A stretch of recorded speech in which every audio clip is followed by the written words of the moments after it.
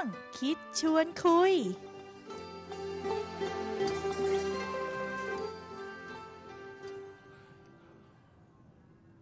เอาละค่ะกลับเข้าสู่ช่วงคิดชวนคุยนะคะ เมื่อต้นรายการของเราก็จะเป็นข่าวของวันภาษาไทยไปแล้ว แต่ในช่วงนี้เนี่ยก็เป็นของขนมไทยค่ะ ใช่แล้วล่ะค่ะ และ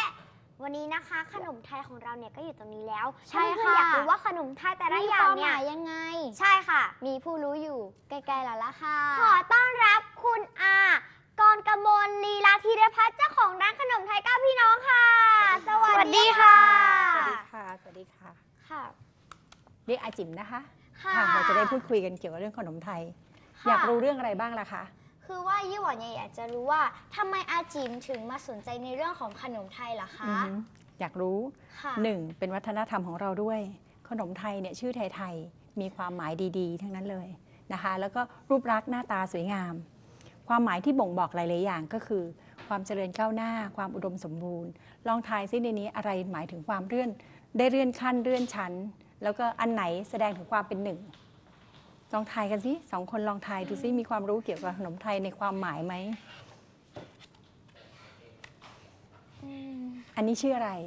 ขนมชั้นค่ะ อะและอันนี้อะไรคะอันนี้ก็มีเนี่ยค่ะ รอบนอกเนี่ยค่ะ ขนมทองเอกค่ะ ถัดไปละคะขขนนมมเสเสน่น่ห์ห์จัจันนททร์ร์อะค่ะเสน่ห์จันทร์บนสุดคะจ่ามงกุฎอะอันนี้ต้องรู้จักอยู่แล้ว อันนี้อะไรเอ่ยลูกชุบค่ะ อ่แล้วนี่มารู้ความหมายกัน ลูกชุบเนี่ยแสดงถึงความอุดมสมบูรณ์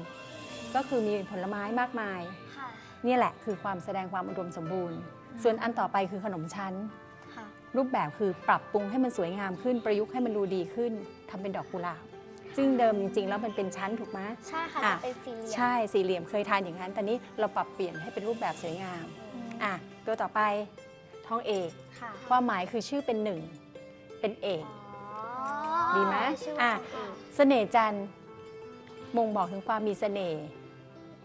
นะคะ แล้วก็จ่ามงกุฎคือตัวบนสุดก็คือความสูงสุดอยู่ที่มงกุฎเลยถูกไหมอ่าแต่นี่อะไรอีกอยากรู้อะไรอีก ก็งั้นพ่ออยากรู้ว่าอาจิ๋มคิดว่าขนมไทยอะค่ะ มีเสน่ห์ยังไงบ้างอะคะเสน่ห์ก็คืออย่างที่บอกไปเมื่อกี้ว่า รูปลักษณ์สวยงาม ค่ะความหมายที่ดีด้วยนะคะ แล้วนอกจากนั้นเนี่ยการทานแล้วเนี่ยยังมีผลต่อสุขภาพที่ดีด้วย ก็อย่างขนมบางอย่างที่มีเอ่อวัตถุดิบที่ผลิตมาจากกล้วย กล้วยก็คือมีสารใยอาหาร ดีต่อระบบขับถ่าย แล้วขนมไทยเราเนี่ยยังไม่ผ่านพวกขบวนการอุตสาหกรรมต่างๆ ฉะนั้นคุณค่าทางอาหารเนี่ยยังคงอยู่ครบถ้วน ดีไหมสำหรับขนมไทยดีนะค่ะคะไปดูตัวต่อไปไหมมีตัวต่อไปอีกค่ะข้าวต้มข้าวต้มอะไรคะจริงๆ มีแต่คนเรียกว่าทำจริงๆ คือข้าวต้มข้าวต้มผัด อ๋อ แต่คือว่าขั้นตอนก็คือเอาไปผัดก่อนอ๋อ แล้วเสร็จค่ะแล้วเวลาคนเขาเห็นรูปลักษณ์ก็คือเอามามัดเป็นคู่ใช่คู่ค่ะเขาก็เรียกลข้าวต้มมัด ข้าวต้มมัดคือเรียกได้ทั้งสองอย่างนะคะอืมแล้วด้านหน้าสุดนั่นคือขนมเทียนอ๋อหรือชื่อโบราณก็ชื่อชื่อว่าขนมนมสาว อ๋อรู้ความหมายแล้วใช่ไหมค่ะอ่าถัดมาอันนี้เป็นขนมไทยอีกหลาย ๆ อย่างอันนี้เรามาดูซิแต่ละอย่างชื่ออะไรบ้าง อันนี้พอรู้จักไหมรับทองรู้จักชื่อไหมคะ อันนี้นะคะไม่ ไม่ค่อยเห็นนะคะ ขนมกล้วย อ๋อ ขนมค่ะ ด้วย สีสันอันนี้ล่ะคะนี่ขนมยี่หวารู้จักไหมคะ ไม่ข้างในเป็นไส้ถั่ว ข้างในเป็นไส้ถั่วอะ นั้นอาจิมเฉลยนะ เทียนแก้วขนมมัน อันนี้ล่ะเหลืองๆคือขนมอะไรคะ ฟักทองอ่า รู้จักแล้ว อันนี้ล่ะคะ ข้างในเป็นไส้มะพร้าวหวานอืมๆ ปกติมันจะเป็นห่อใบตองใช่ค่ะสูงๆขึ้นไปนึกนึกนึกหน้าออกไหมนึกหน้าออกอะแต่นึกชื่อไม่ออกขนมใส่ไส้ อ๋ออ๋อเลยเนาะใช่ นี่แล้วอันนี้อะไรลืมกลืน ชื่อลืมกลืนนะคะลืมค่ะอ่าวุ้น น้ำดอกไม้ ทองหยิบ ส่วนด้านหน้าที่เห็นนะคะ เป็นของว่าง ช่อม่วง ข้างในเป็นไส้ไก่นะคะ ถัดมาเป็นแป้งสิบ เป็นสาคู แล้วก็จะเป็นไส้กรอกปลาแหนมรู้จักไส้กรอกปลาแหนมไหมคะอืมก็เคยเห็นนะคะเคยเห็นนะคะทำจากข้าวคั่วแล้วก็เนื้อเนื้อปลาแล้วก็ยังมีหนังหมูนะคะ มีส่วนผสมออกรสเปรี้ยวๆหวานๆทานกับไส้กรอกนะคะ เป็นของว่างทั้งหมดเลยอะค่ะ แล้วขนมไทยนี่มีมานานหรือยังอะคะ นานแล้วค่ะ นานตั้งแต่สมัยสุโขทัยโอ้โห ค่ะ สุโขทัยนานมาก แล้วก็มาอยุธยาอายุธยาเนี่ยมีพวกชาวโปรตุเกสเข้ามาด้วย พวกชาวโปรตุเกสเนี่ยเขาก็มาสอนมาเป็นครูในวังสอนทำขนมไทยด้วย แต่ว่าขนมเขาเนี่ยทำจากไข่ ค่ะอย่างเช่น พวกทองหยิบทองหยอดพวกเนี้ยไม่ใช่ของบ้านเราเลยเป็นของชาวโปรตุเกส ของบ้านเราเด็กก็แค่มีแป้งน้ำตาลนั่นบ้านเราก็ทำได้แต่พวกข้าวเหนียว ก็คือข้าวต้มมัด ขนมต้มค่ะ ค่ะตะโก้อะไรพวกนี้ที่เป็นแป้งทั้งหมดแค่นั้นเอง ค่ะ ค่ะ ค่ะ แล้วขนมอย่างแรกที่อาจิ๋มเริ่มทำเลยค่ะเริ่มเลย คือขนมชนิดไหนอะไระคะใช่ไหมค่ะเริ่มทำน่าจะเป็นข้าวต้มมัดข้าวต้มผัด อ๋อข้าวต้มผัดใช่ค่ะข้าวต้มผัดยากไหมอะคะไม่ยากค่ะ อยู่ที่การใส่ใจแล้วตั้งใจทำเท่านั้นเองอ๋อค่ะค่ะ เราเรียนรู้ชื่อขนมไทยกันหมดแล้ว ค่ะเรามาสาธิตนะเอาอยากเรียนรู้ไหมคะอยาอ่ากมายืนค่ะ ใกล้ๆเลยเผื่อเราจะต้องมาทำขนมชั้นด้วยกันข นมชั้น ค่ะเป็นเส้นๆ แล้วไปพันเป็นดอกไปอยู่ในนั้นโอ้ยอืมลองหน่อยมะสักดอกไหมลูกค่ะอ่าลองนะ โอ้มันต้องใช้ค่ะนี่ค่ะ มันเป็นชั้นๆ แล้วก็ลอกออกมา อ๋อเป็นอันอ่า นี้ นักเรียนถือไว้คนละเส้นค่ะ โอ้ยจับถนอมหน่อยสิลูก จับแรงจัง อ่าถือไว้ลูก อ่าอาจิมอาจิมใช้สีเขียวนะ ค่ะ เพราะเดี๋ยวเวลาไม่สวยจะได้รู้ว่าของใครใช่ไหม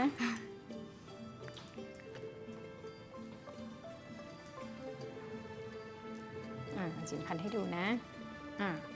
เริ่มจากการจับเกสรข้างในลูก จับเข้ามาข้างในค่ะที่หวาใช่แล้วค่ะ จับเข้ามาข้างในค่ะ อ๋อ ค่ะ พับเข้ามาด้านในค่ะ ให้เป็นเหมือนกลมๆเนี้ย ให้เป็นฐาน แล้วก็จับขึ้นมาอย่างนี้ลูก ยังไงนะคะ อย่างนี้หรือเปล่าคะค่ะใช่ค่ะลูก อย่างนี้ค่ะ อคะค่ะใช่ค่ะพับเลย แล้วก็จับข้างล่างขึ้นมาข้างบน จับข้างล่างขึ้นมาข้างบนข้างล่างคือด้านล่างนี้ค่ะ พลิกขึ้นมาลูก อ่านับดาวนับนับนับทองใช่ไหมลูกค่ะอ่านับทองอะนี่หวาพลิกขึ้นมาลูกจับไว้ลูกจับไว้ด้วย จับไว้ด้วยอ่าได้ยังค่ะอ่าต่อไปก็พลิกขึ้นมาอีกลูกนี่เหรอคะค่ะพลิกขึ้นมาอีกค่ะ อย่างนี้ทำอย่างนี้ไปเรื่อยๆพลิกขึ้นมาเรื่อยๆพลิกจับกีบขึ้นมาเรื่อยๆอะลูกค่ะอืมอาจิมเสร็จแล้ว วันนี้มามันทำอย่างนี้ค่ะอย่างนี้ยค่ะลูก จับไปนะ แล้วก็จับขึ้นมาอย่างนี้นะลูก แล้วก็จับขึ้นมาอย่างนี้นะลูก จับขึ้นมาเนี่ยอะถือไว้ อุ้ยสวยแล้วเห็นไหมมายี่บาอืม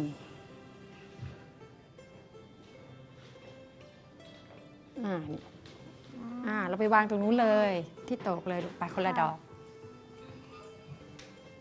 อ่า อุ้ย วางเลยสวย เด็กๆทำสวยลูก อืม ค่ะเอายังเป็นไงตอนนี้ต้องอาศัยความชำนาญด้วย แค่เรียนแป๊บเดียวคงทำไม่ได้นะคะ ค่ะเราเราไปดูเรื่องข้าวต้มมัดกันมะ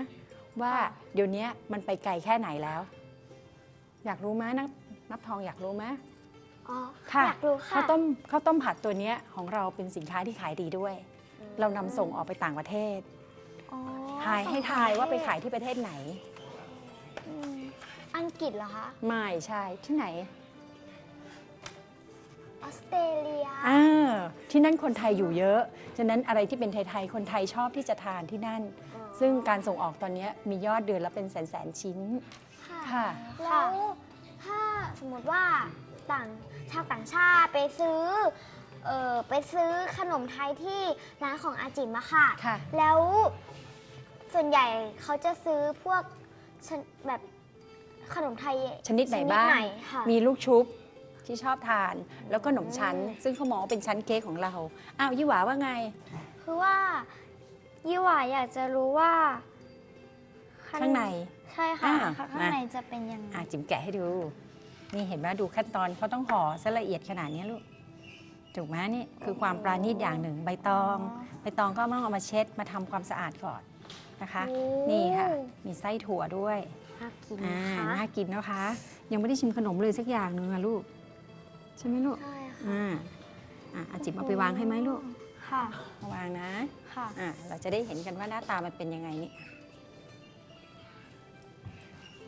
อะเป็นไงต่ออยากรู้อะไรอีกไหม อาจิมคะค่ะ ไหนๆนับทองหยิบซ่อมมาแล้วขอชิมสักเอาเลยชิ้นค่ะนะคะเอาเลยละค่ะ คนละชิ้นเลยไหมขอบคุณค่ะค่ะเอาเลยค่ะ คนละชิ้นเลยค่ะ อืมสด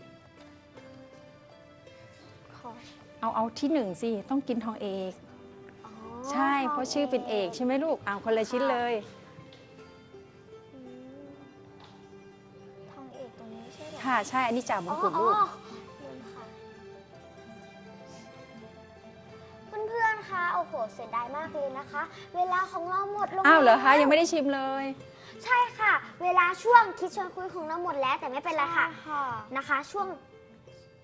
ช่วงวาไรตี้ของเราเนี่ยก็ยังมีอยู่นะคะ ยังมีข่าวที่น่าสนใจอีกมากมายเลยล่ะค่ะ ถ้าเกิดอยากรู้ว่าเป็นข่าวอะไรนะคะ พบกันช่วงหน้าค่ะ แต่แต่ตอนนี้นะคะนัทพรนี่ก็ต้องขอขอบคุณชนาจิมมากเลยนะคะขอบคุณค่ะขอบคุณค่ะขอบคุณค่ะค่ะค่ะช่วงหน้าค่ะ